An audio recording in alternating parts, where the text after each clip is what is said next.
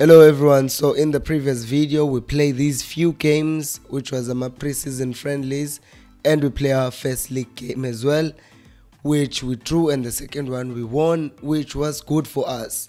Now today we are coming back and the very first match is Sunderland on the EFL Cup. So that should be interesting because we want to advance quick Carabao Cup but for now we just thought let's start by scouting players, and one of those players I thought uThabo Cele because a lot of Kaizer Chiefs fans were looking for uThabo Cele, they wanted to scout him. And in my team, I have room for midfielders. I'm not happy with the midfielders I have. I can obviously do with more depth. So we'll see what happens with him. Let's just scout him and see what happens. So let's go and play our first game against Sunderland someone wants to actually buy uMashiane. I won't sell him because I know as much as ekhona uDove clear position no Hlant as a backup. I also want to give this young boy a chance to play as well so I am definitely keeping him. So ayaphela kamaphupho let's go and play against the Sunderland. This is my starting 11 let's go boys all right, let's go. Sunderland, we are away. We play the ball through. Yeah.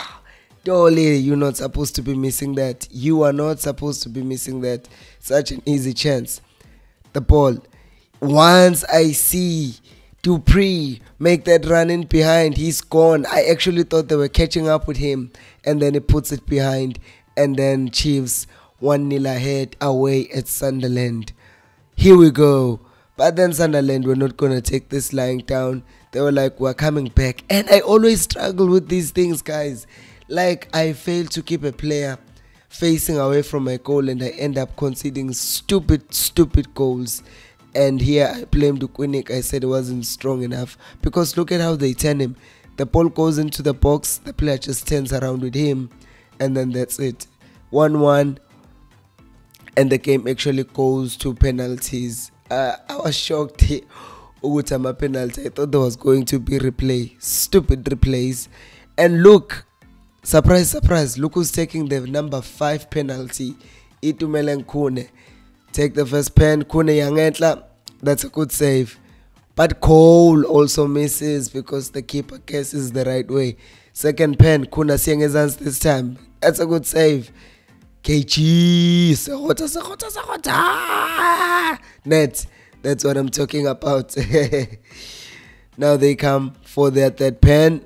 Ah they send Khune the wrong way. I'm sure on Twitter would already be a meme.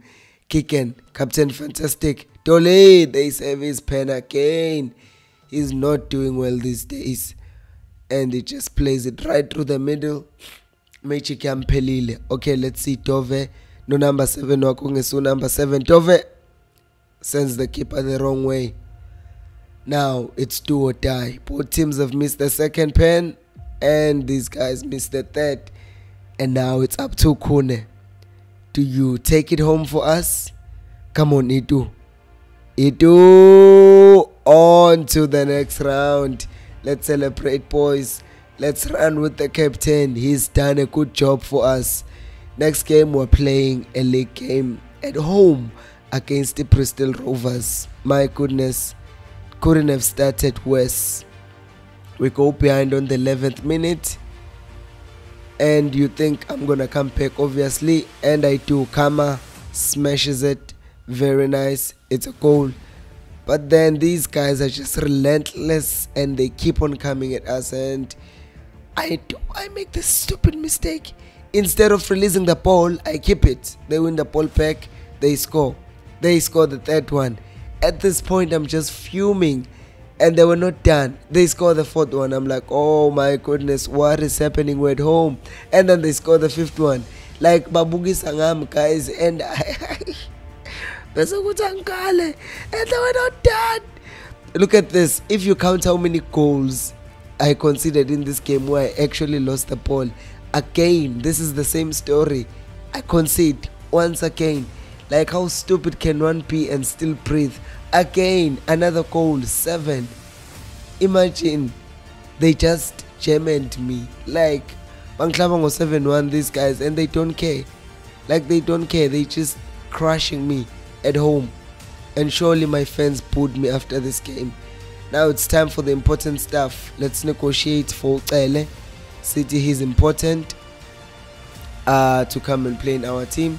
He's 25 so we're trying to get him a five year deal until he's 30 so that we can have him with premier okay but these guys want a three year deal which makes sense for their client. So i then accept because well i didn't want negotiations to break down. Uh, but what do you know release clause is obviously very important. If someone wants to just trigger the release clause i set it to 5m but then again these guys thought nope that's too much. Let's make it 2.5 million uh, euros. And i was like okay fine because again i'm trying to get this player only to screw myself over only to screw myself over with such a stupid thing because when it comes to his salary isalary yakhe beku beku 2000 in the other team mina ngakhuphula ngo-100 it was a stupid mistake that i made because I usually don't give players signing bonuses because I found Uguti, I experimented and I found Uguti doesn't make a difference whether you add it or don't. But in this case, because the salary was too low, these guys just felt insulted by me doing that to them. So they just went like, ah, fam, we're leaving, we're getting out of here.